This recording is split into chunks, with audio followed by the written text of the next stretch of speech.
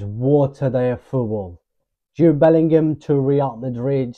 Newcastle has offered Barcelona 80 million for Raphinha and the big one. And here we go from Fabrizio Romano who just confirmed that Messi will be definitely will be leaving Paris Germain at the end of the season. There's no more doubts about that anymore. 100%.